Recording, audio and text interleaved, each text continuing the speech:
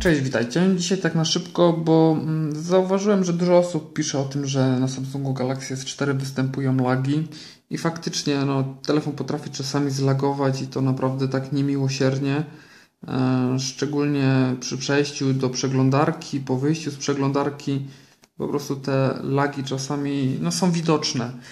E, I póki co no, ciężko chyba znaleźć jakieś rozwiązanie takie mm, całkowite tego problemu.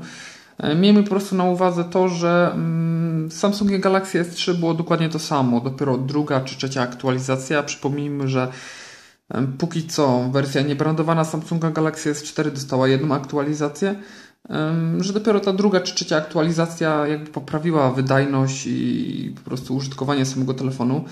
Ja w każdym razie zauważyłem, że jedną z przyczyn, e, która jest możliwa właśnie lagowania telefonu, E, jest niestety, ale ten widget pogody. Nie wiem, on jest chyba tak e, pamięciożerny i zasobożerny, że niestety przez niego e, strasznie telefon muli. No i teraz tak. Postanowiłem sobie zrobić pewien eksperyment. Dzisiaj cały dzień miałem wyłączony ten widget, po prostu miałem go usuniętego. Specjalnie go teraz przywróciłem, żeby Wam to pokazać. E, I faktycznie, nie dość, że bateria lepiej mi trzyma, to przynajmniej takie mam, takie mam wrażenie. To, to może być też tak nie do końca obiektywne. E, ale mam wrażenie, że właśnie, że, że bateria jej lepiej trzyma i telefon jakby trochę bardziej responsywny jest, że po prostu mniej się wiesza, mniej laguje, mniej tych takich spowolnień jest. W każdym razie mm, możecie to sprawdzić u siebie mm, i dajcie oczywiście znać w komentarzach, czy to działa. Ja zrobiłem tak, że przeszedłem do ustawień, yy, zrobiłem sobie żeby nie automatycznie nie odświeżał tego. E, wyłączyłem sobie e, jeszcze to odświeżanie widgetu pogodowego. Wyszedłem sobie z tego miejsca, wziąłem, usunąłem ten widget.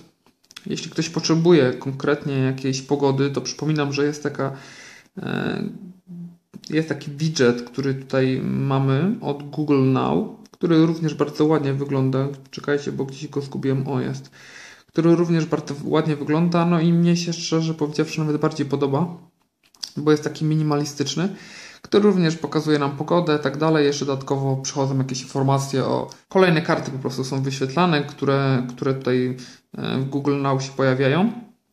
Tak jak widzicie, e, pokazuje nam jaki jest szacunkowy czas dojazdu akurat do mnie do pracy.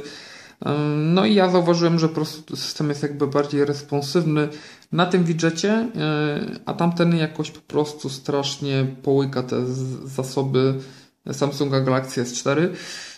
Zapraszam Was do przetestowania i dajcie znać oczywiście w komentarzach, czy faktycznie tak jest, czy tylko po prostu takie jakieś moje niezbyt e, obiektywne podejście. I mnie się jednak wydaje, że telefon lepiej chodzi. Te animacje w tym widżecie niestety chyba e, rzeczywiście wymagają sporo od procesora. Fakt, są one ładne, no ale niestety nie są na tyle istotne, żeby po prostu powodować, że telefon laguje. Jeśli jest to jakieś rozwiązanie, to dajcie znać w komentarzach. Tymczasem pozdrawiam Was. Trzymajcie się. Cześć.